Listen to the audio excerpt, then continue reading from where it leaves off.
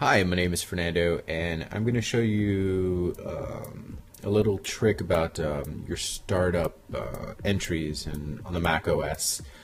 So, a quick way to find out what's actually starting up um, on your Mac is here's here's a couple of them that shows me. It gives me an indication that there's a few items that are starting up.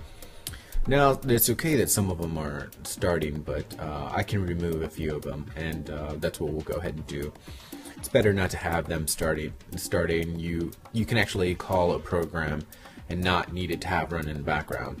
So um, let's do this. So I'm going to hit the Apple spacebar and I'm going to go to System Preferences, and I'm going to go to Accounts, and this is usually specified by the user that's actually uh, logged on to the uh, Mac OS. So I'm going to go into login entries. As you can see here, I have the Growl Helper app, AirMouse Server. I'm going to keep AirMouse Server.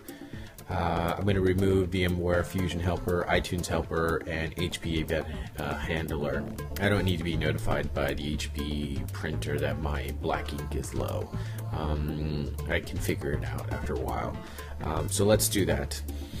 Uh, in order for me to do that, in order for me to remove startup entries, I have to um, uh, have admin access. So let me just type in my password. I'm going to go into login entries and I'm going to remove uh, VMware Fusion, iTunes Helper, and HP Event Handler. So I'm going to just click the minus. It's going to say, are you sure you want to remove? Click OK. I'm going to also uh, highlight uh, iTunes Helper and the VMware Fusion. Uh, task-wise, I can kill that too. Uh, Growl Helper, uh, I can kill that. The only two real applications that I need running is the AirMouse server and the Dropbox, um, and that's pretty much it. But by doing this, I've killed up, I've killed those uh, those applications from starting as soon as I log on. It's a nice little tip uh, to kind of just remove those things, and um, yeah, good luck and have fun. All right, thanks. Bye.